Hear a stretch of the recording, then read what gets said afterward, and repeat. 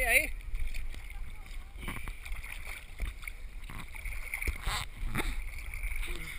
Estamos entrando al pozón de la suegra.